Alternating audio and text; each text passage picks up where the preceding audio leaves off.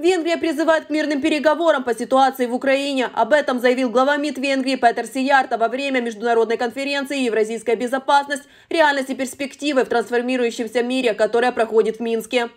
И мы, граждане Венгрии, не хотим, чтобы умирало больше людей.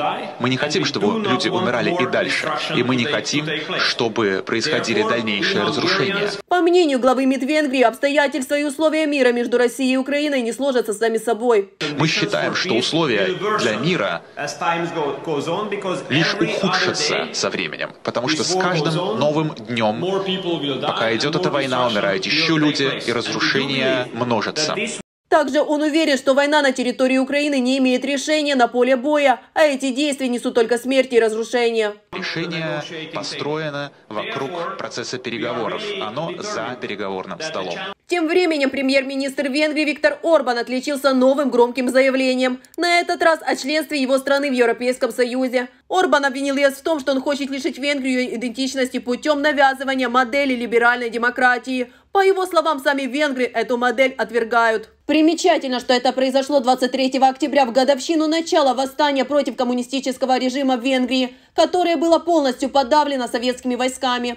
Также Орбан добавил, что Брюссель это не Москва, мол, Москва была трагедией, а Брюссель это плохая современная пародия. Отметим, Орбан стал первым лидером Евросоюза, который встретился с президентом России после того, как в марте этого года против него был выдан международный ордер на арест в связи с военными преступлениями. В свою очередь, верховный представитель ЕС по иностранным делам и политике безопасности Жозеп Барель отреагировал на заявление премьер-министра Венгрии Виктора Орбана о том, что членство его страны в ЕС похоже на советскую оккупацию.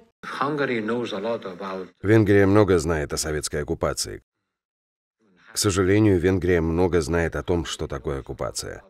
Я помню Будапешт 1956 года с русскими танками на улицах. Мне было 9 лет, так что он должен знать, о чем говорит.